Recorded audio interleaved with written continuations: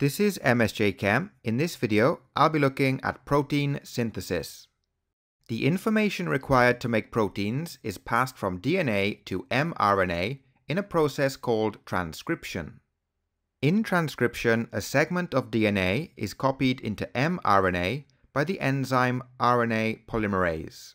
The first step in transcription is the unzipping of the DNA double helix by the enzyme RNA polymerase.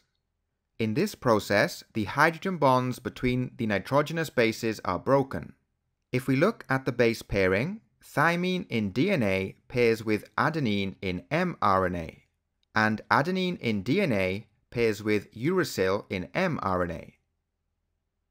The newly formed mRNA leaves the nucleus for the ribosome, where translation takes place.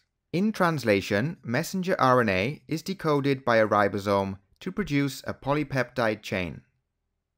In translation, a triplet code is used with each sequence of three nucleotides or bases representing one amino acid. The triplet code allows for up to 64 permutations, which are known as codons.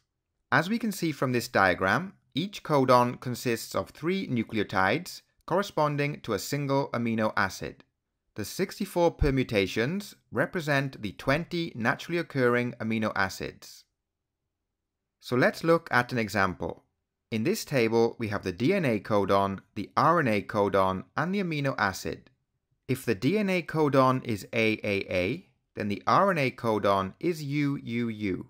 Using this chart, we can see that this triplet code corresponds to the amino acid phenylalanine.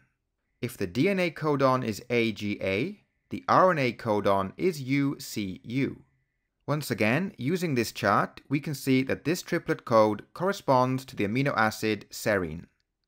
And finally, if the DNA codon is CTT, the RNA codon is GAA. This triplet code corresponds to the amino acid glutamic acid.